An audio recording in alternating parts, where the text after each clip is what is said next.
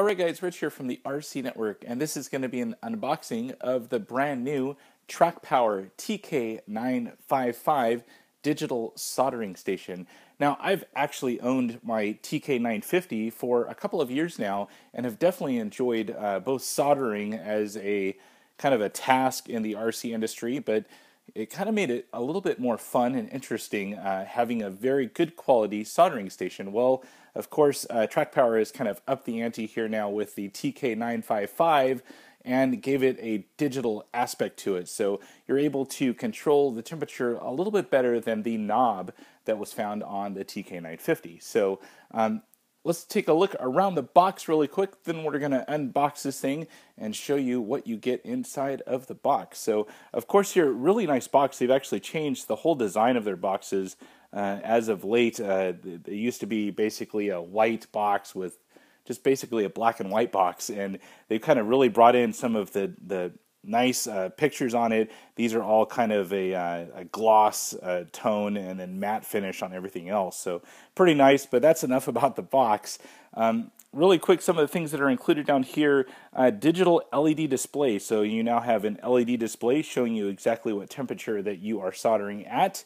Um, it is accurate uh, to uh, one degree increment. So pretty cool that they can, you just, you know, up it by one degree versus, you know, 10 or who knows what uh, other manufacturers do. Uh, you do have a security key lock uh, to set the selected temperature, so either no one can mess with it, or you know you know that it, it's for sure that temperature when you are soldering. Um, it holds selected temperature within 1.8 degrees uh, while in idle, and then it does come with a chisel point and a pencil point. Now, I don't remember if my uh, 950 came with both, but from what I use on mine, I use the chisel point on mine, so that's what I know what it came with. I'm not sure if it included the pencil as well. Um, on the other side over here, let's take a look at this. And let's see here. That gives you a good look of uh, what all comes with it. There's that little security key that comes with it, uh, the uh, pencil tip, of course, the chisel, and all of the other pieces of it. It does note here five year limited warranty, which is pretty cool that they're offering uh, that long of a term and uh, looks like it has ready to apply decals. So um, I will probably attach those towards the end of the video end of the video here. So uh, power outage or power wattage is 60 watts, and it looks like it goes from 392 up to 896 degrees Fahrenheit. Yikes, that's pretty hot. So uh, let's unbox this thing. Let's see what we get inside the box. Looks like it has like this little flip thing right here and pops right open to some styrofoam. And it looks like we have uh, some of the pieces here immediately. Looks like uh, here's all of the decals that they were talking about earlier.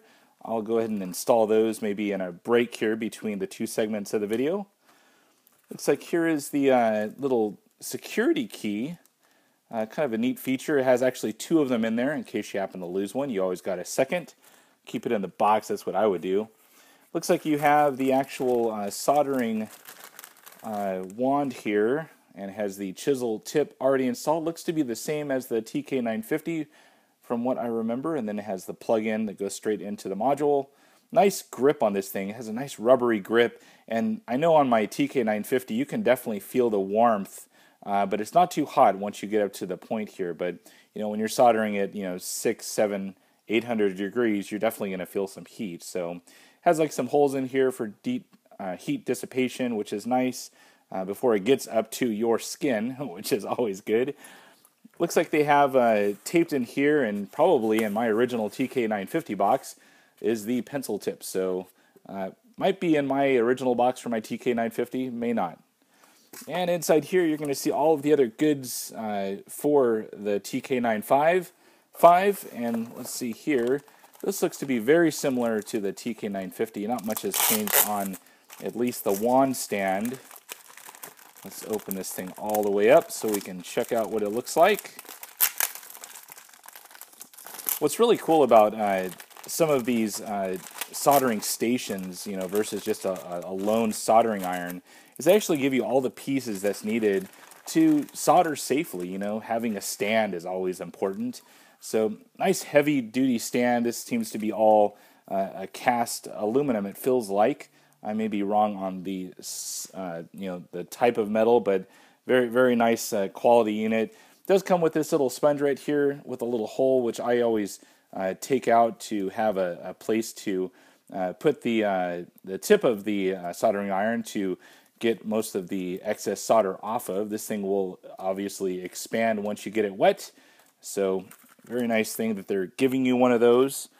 Um, lastly, this is going to be the entire module here to uh, get your heat going, get you soldering out there. So it looks to be very similar to the TK950, but of course you have that nice digital uh, display right there. So has looks like it has three digits that it displays. The up, down has an asterisk right there. Maybe a hold button. I'm not sure. I'm going to have to read into that. There's the plug right there to plug your wand into. Looks like you have your power on off switch right there, which is nice.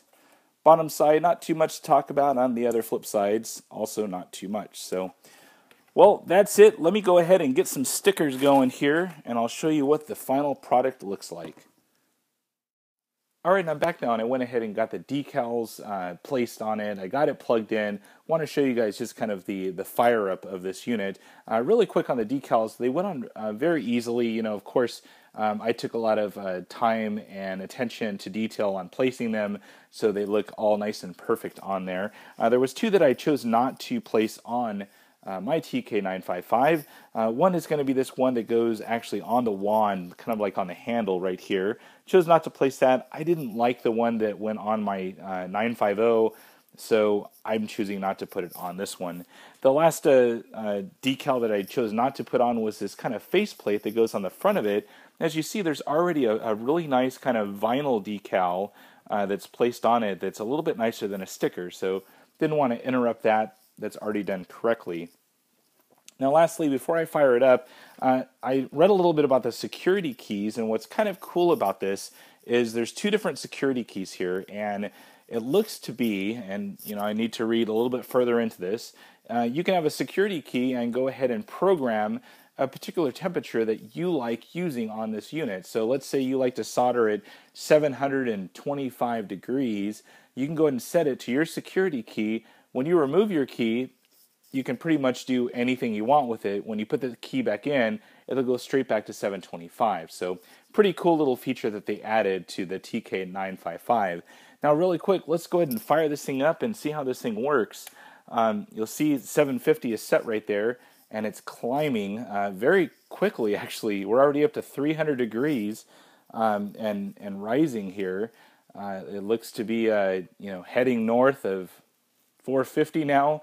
Um, the asterisk button on there, you'll see that there's an up, there's a down, and the asterisk. Asterisk function has to do with the security key, and you can read more about that in the owner's manual. So it looks right now we're up to 560. This thing is uh, definitely getting warm. You can kind of see um, some of maybe the initial uh, residue that might be on the unit. I've already kind of wet this thing.